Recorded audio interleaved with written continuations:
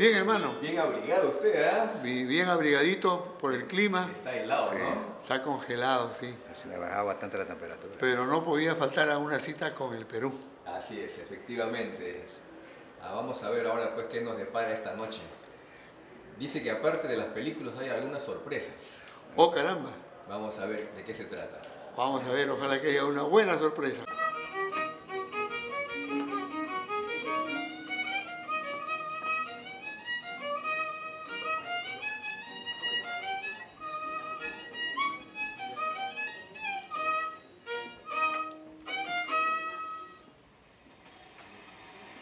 Mina su breve paso sobre la tierra. Muchos años pasaron desde que inició su oficio de gala, depositario de antiguos ritos y ancestrales costumbres, allá en las cuevas de Chaupiranga, bajo la guía y protección del gran defensor, gala mayor de los pueblos remotos de la cordillera. En la cosmovisión andina, la muerte es también fuente de vida. Es posible que la exterminación de los huancahuilcas, pueblo originario de esta región, haya coincidido con el taquionco, el mandato indígena que pretendió restaurar el culto de las huacas en el siglo XVI. Cuando este movimiento fue derrotado por Cristóbal del Albornoz y otros sacerdotes fanáticos,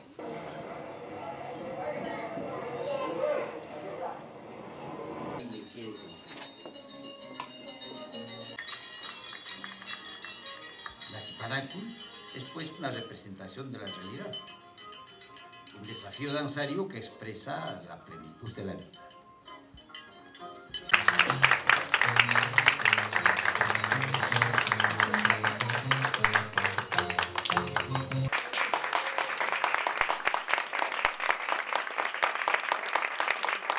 es Muki Sabogal, el protagonista de la película Videofilia que nos va a representar ¿no? los premios de la Academia del Oscar. Así que por favor eh, le van a hacer su entrevista, sus fotos, pero vamos a hacer un tiempo prudencial para que así todos queden felices y contentos. Él es Carlos Polo de Radio Latino Estéreo, Gary Veró, ¿verdad? Tú eres de... Reporte Hispano. De Reporte Hispano. Sí, Luisa Redonde de Hola Hispana y Media. Cineman Perú, youtuber. Ah, ya. Y tenemos también a Vanessa Ortiz, de Radio Latino Estéreo. Buenas noches amigos. Eh, otra vez acá de vuelta con el cine peruano y les quiero presentar pues a Muki Sabogal. Mucho gusto, Muki. Mucho gusto también. Es un placer. Muki Sabogal es una, es, es, una actriz fenomenal que en este momento ha cobrado mucha, mucho, mucho auge debido pues a que está participando en una película. ¿Has participado en una película como coprotagonista? Sí. Cuéntanos un poquito más sobre esa película que donde está, pero esa está muy fuerte. Sí, este, bueno, la película se llama Videofilia y otros síndromes virales. Eh, es una película un poco compleja porque tiene cosas de cine experimental que en este caso entran en una historia de ficción. Eh, además que no tiene un género definido, no es como o drama o comedia, sino que es, algo, es una película que, que sucede rápido que va sucediendo rápidamente. Tiene cosas que, que, sí te hacen reírte, pero también tiene otras que sientes que es un thriller y que no sabes qué está pasando y no entiendes. Y, y bueno, es, es, es, es, compleja, es rayada, es loca, pero también es muy espontánea. De hecho, no teníamos un guion fijo, sino que hemos ido este, eh, improvisando un poco la, la, forma de hablar y eso le da una naturalidad que no suele tener el cine peruano porque siempre estás como con con diálogos que siguen el uno al otro y como que Ajá. los personajes ya saben qué van a decir. En cambio, en este caso todo está como, como en la vida real. Cuéntame un poco sobre tu trayectoria. Sé que has trabajado en tres largos. Eh, sí, bueno, este es mi primero, Videofilia. Después uh -huh. estuve en otro que se llama El Año del, Apo El Año del Apocalipsis, yeah. eh, que es de, sobre zombies en Lima, uh -huh. y de Rafael Arevalo. Y después estuve en otro que es en otro largometraje que es de César Miranda y se llama La Era Olvidada. ¿Se han estrenado? Eh, no, el año del apocalipsis sí. Eh, de hecho, ahorita está eh, yendo a diferentes festivales y La Era Olvidada recién la van a terminar de filmar en Polonia. Hemos ah, firmado el 60% en, en, Cerro de Pasco, en el Bosque de Piedras de Guayay. Coproducción. Ajá, y ahora van a terminar de grabarlo en Polonia. Excelente. Entonces, la, la película que sí se ha estrenado en Lima es Videofilia. Sí. Sí, sí, ¿Cómo sí. le fue? ¿Cómo, cómo estuvo esa, Uy. acogida? Eh, a, la gente, eh, bueno, dependiendo, ¿no? Igual es una, como es una película fuerte, tiene opiniones variadas, algunos como que ya les parece demasiado fuerte. ¿Qué calificación tuvo? Eh, ¿De qué? ¿De puntaje? No, de en cuanto a para qué mayoría de edad o algo. Ah, ay, siempre hemos, sí, siempre hemos tenido esa disyuntiva, en realidad. Yo creo que es para mayores de 14. Ok. Eh, otros creen que para mayores de 18, pero yo creo que con lo rápido que, que avanza, o sea, uno es- crece más rápido en estos años, ¿no? Entonces yo creo que sí es para mayores de 14. También leí un poco de que has dirigido algún corto. ¿Cómo va eso de tú, una dualidad de actriz y directora?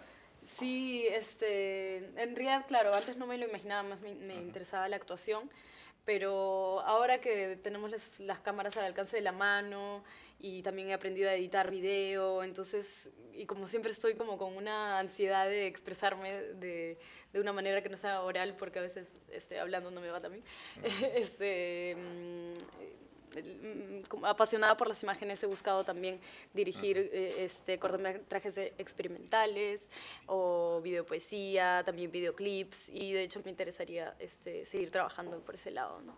Muy interesante, felicitaciones y este bueno pues ojalá que esta película gane el Oscar.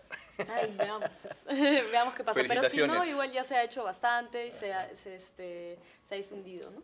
Todos que- los éxitos para ti. Felicidades. Gracias.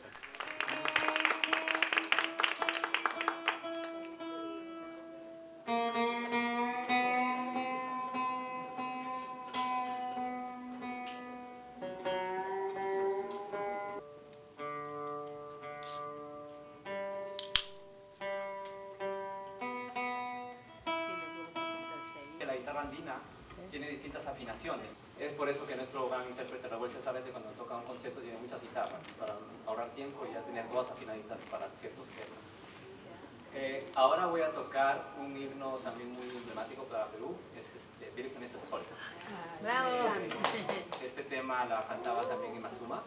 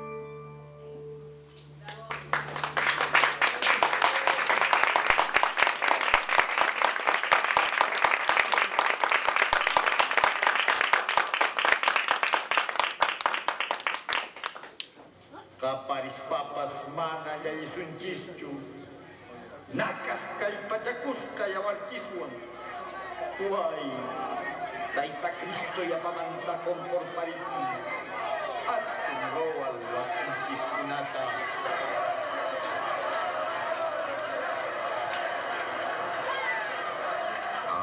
Querrán descuartizarlo, triturarlo, mancharlo, pisotearlo, desalmarlo. Querrán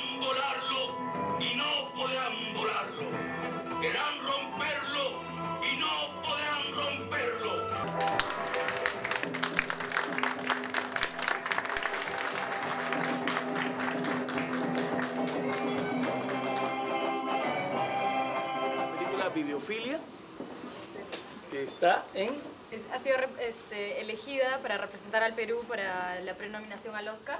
Así que ahorita estamos así cruzando los dedos a ver qué pasa y la academia está viendo eh, nuestra película que representa una parte del Perú que no se suele mostrar tanto. Están en los sitios de Magdalena, Lince, Pueblo Libre, Centro de Lima y, y bueno, y un poco de la juventud peruana.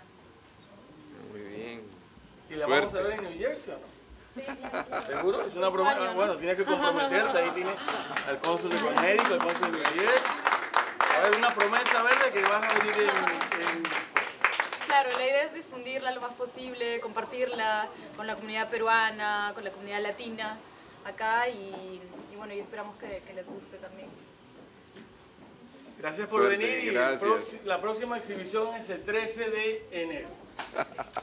Gracias a todos. Gracias, gracias, Cris.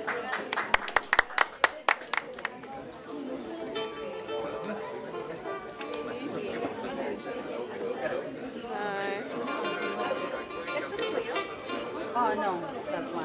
Debe ser de